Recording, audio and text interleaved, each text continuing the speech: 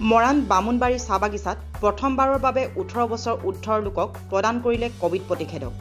ডিব্ৰুগড় জিলা মৰাণ ৰাজচক্ৰৰ অন্তৰ্গত তথা খোৱাংখণ্ড প্ৰাথমিক স্বাস্থ্য কেন্দ্ৰৰ অধীনৰ বামুণবাৰী চাহ বাগিচাত আজি প্ৰথমবাৰৰ বাবে ওঠৰ বছৰ উৰ্ধৰ চৌৰাল্লিছ বছৰৰ ভিতৰৰ লোকক স্বাস্থ্য বিভাগৰ তৰফৰ পৰা কভিড প্ৰতিষেধক প্ৰদান কৰে। উল্লেখ্য যে মৰাণৰ বামুণবাৰীৰ চাহ বাগিচাতো বহুকেইজন শ্ৰমিক কভিডত আক্ৰান্ত হৈছিল। আজি কভিডৰ প্ৰতিষেধক প্ৰদানৰ পূৰ্বে কভিড টেষ্ট কৰাত এজন লোকো কভিড আক্ৰান্ত পোৱা নাই বুলি স্বাস্থ্য বিষয়াই জানিবলৈ দিয়ে।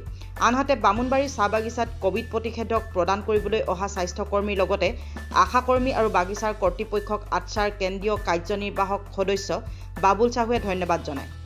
চৈধ্য বছৰৰ পৰা চৌৰাল্লিছ বছৰ বয়সৰ যি ভেকচিন প্ৰদান কৰিছে এই ভেকচিন প্ৰদানৰ ক্ষেত্ৰত খোৱাং পি এইচ চি আৰু বামুণবাৰী স্বাস্থ্যকৰ্মীসকলৰ লগত আশাকৰ্মীৰ লগতে বামুণবাৰী চাহ বাগিচাৰ ইউনিটৰ যি সহযোগ যি অৱদান আমি তেওঁলোকক ধন্যবাদ জনাইছোঁ।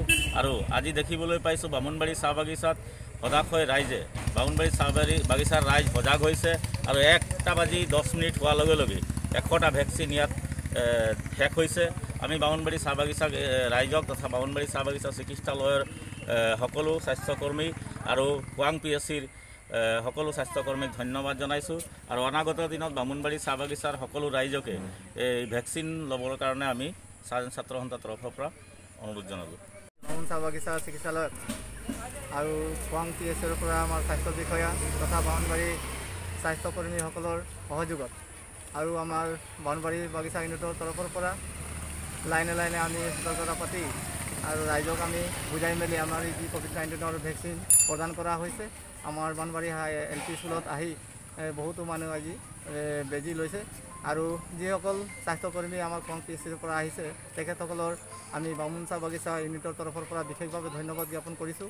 যিহেতুকে আজি আমাৰ ইয়াত আহি শ্ৰমিক ৰাইজক তথা ওচৰ পাজৰ অঞ্চলৰ মানুহ ব্যক্তিসকলক যি ভেকচিনৰ ব্যৱস্থা কৰি দিছে আমি নথৈ আনন্দিত হৈছোঁ আৰু ৰাইজে বুজি পাইছে আৰু ৰাইজে সকলো ৰাইজৰ সঁহাৰি আমি পাইছোঁ।